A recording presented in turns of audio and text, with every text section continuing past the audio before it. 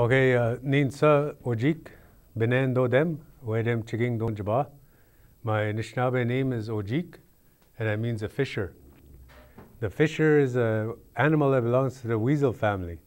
And uh, all of you have heard of the Big Dipper, the constellation, but we have a different story of that, and that means Ojikanang, the fisher star.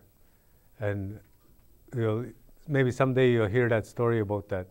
But the main thing is that that body of the dipper is the body of the fisher, and then the handle is his tail, and it's broken because he got shot by an arrow by his cousin.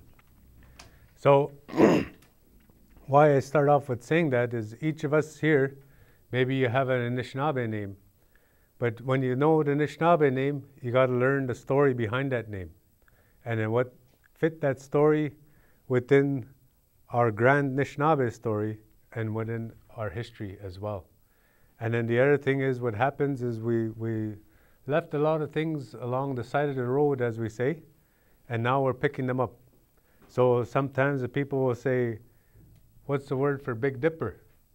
And then people that don't know that story, they say Chigwabagan. And you guabage, you scoop scoop out water or you scoop something. Guabagan is a dipper.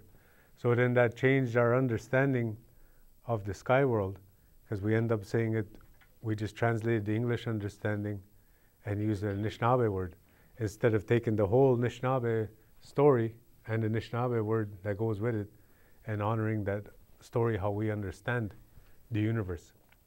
So it's the same thing with our history, our treaties, and our uh, story.